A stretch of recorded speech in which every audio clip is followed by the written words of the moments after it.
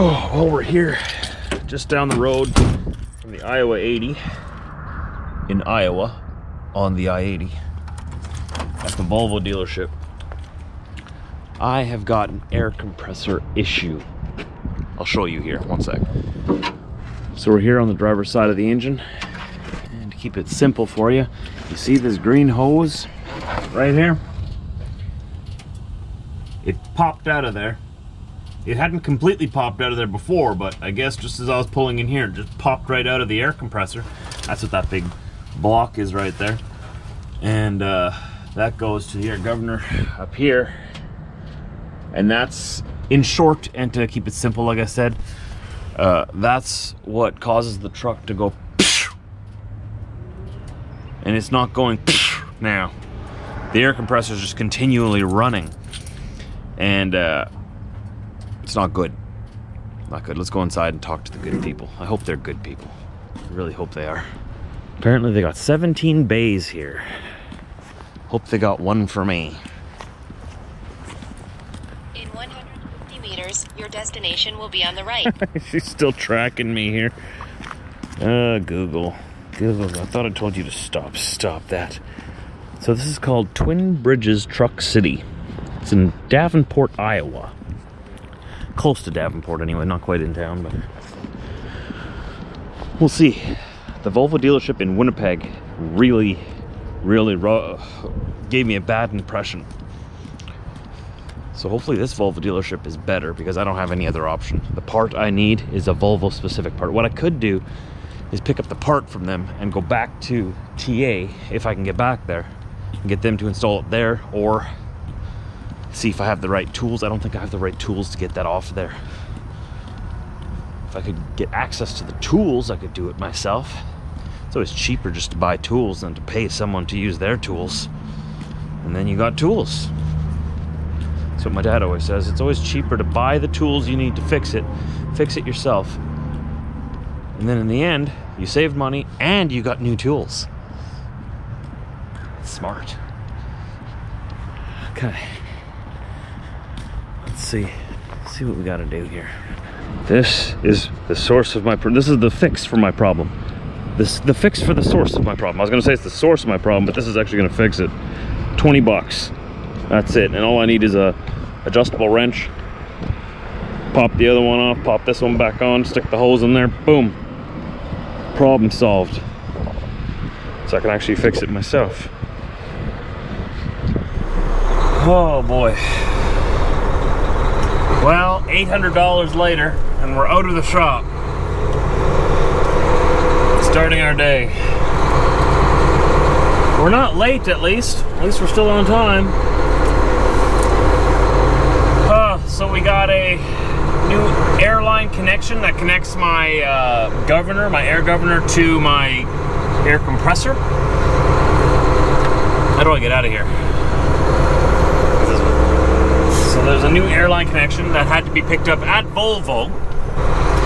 And I figured, well, why not get a full service right away, right? So I brought the truck back here to TA to get a full service because it needed it. And then in the shop, my air purge valve In 100 meters, decides to go kaput. East Iowa 80 Avenue. At least it happened in the shop, right? But yeah, so we had to get the air purge valve replaced right away as well. So all in all, with the service, the service was the most expensive part. I mean, I went with the premium. It was the middle option.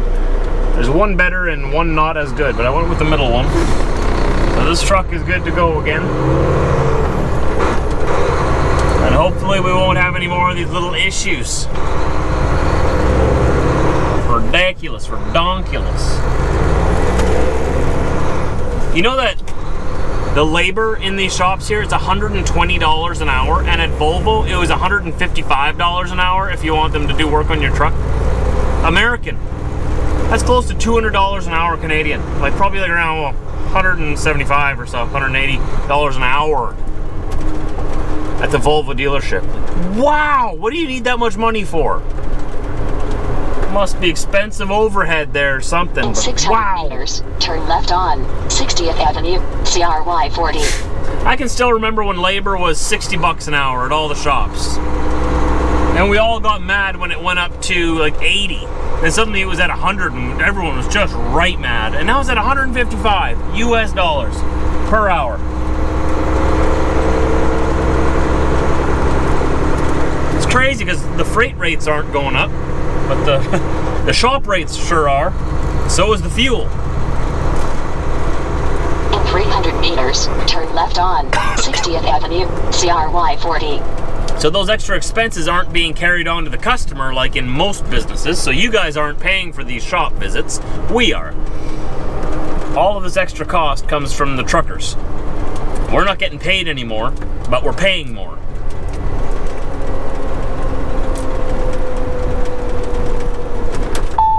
Mean, it's not the end of the world. It's not terrible, but it is bad. And can I turn left here? What's going on here? It's construction. Oh yeah, yeah I'm good. But I mean, it's it's worth calling out, right? If you're gonna raise the shop rates to astronomical numbers like that, you got to start raising freight rates then too. And you know what that means? That means that they've got to raise the price of all the goods that you guys have around you. Nobody wants that, so maybe we should just keep everything the same. I wonder how much those mechanics are making. Apparently, I'm in the wrong line of business. Apparently, I should be a mechanic.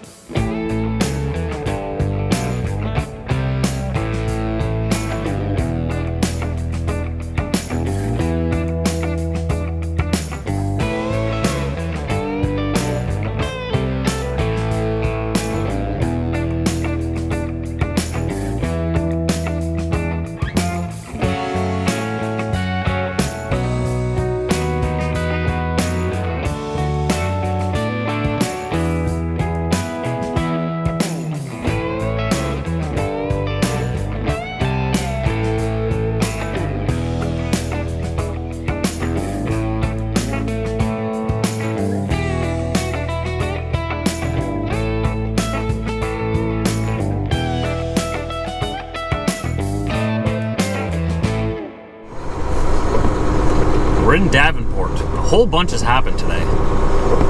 We unloaded our trailer, and I brought the empty trailer over to my shipper. They only want to load me in the morning, but I was allowed to park there, or I'm allowed to park there overnight, and I they allowed me to drop my trailer there and go out for supper. So we're bobtailing right now, no trailer behind us, and Continue on this road for 8 kilometers.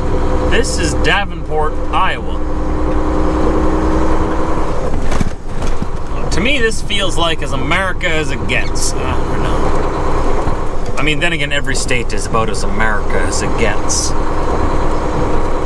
And Iowa, I guess, is sort of like right in the middle, the heartland, right? Look at these homes. Beautiful. And Iowa reminds me a lot of home, too. Iowa, the terrain in Iowa is very similar to the terrain in southern Manitoba, where I'm from. You know, it's flat, a lot of agriculture, a lot of, lot of farming, lots of John Deere everywhere. But they also have a, a forested area of the state like this.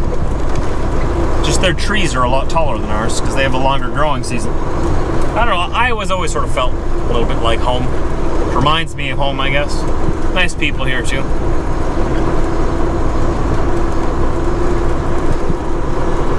Yeah, we're going to. Uh, I'm actually going to Flying J. I want to fuel my tanks up tonight because it's supposed to get a little bit cold overnight, and I don't want to have uh, low fuel. And I haven't put any uh, winterizer gel anti-gel in my fuel yet either, and I want to do that because at home right now it's minus 40 with the wind chill. It got cold again, it's a cold snap, so I want to make sure that all the fuel I have in my tanks when I get back up north is ready for it. Nothing worse than throwing your money away into a tow just for your truck to sit in the shop to thaw out. Throw all that money away just because you didn't prepare. I actually have to correct myself. I lied to you. I'm sorry, but I'm an honest man, and I'll admit when I realize I lied. Didn't do it on purpose. Davenport and Iowa are on the other side of the river, just to our left. We are in Illinois. so I guess Illinois reminds me of home a little bit as well, some parts of it.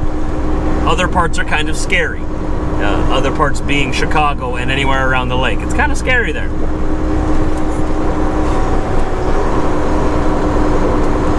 But yeah, we are. Uh, what, what's the city on the Illinois side then? So I guess Davenport's right on the border. We're about to go over the bridge right away here anyway and cross back into Iowa, so we're close enough. You knew what I meant. Diesel. Diesel.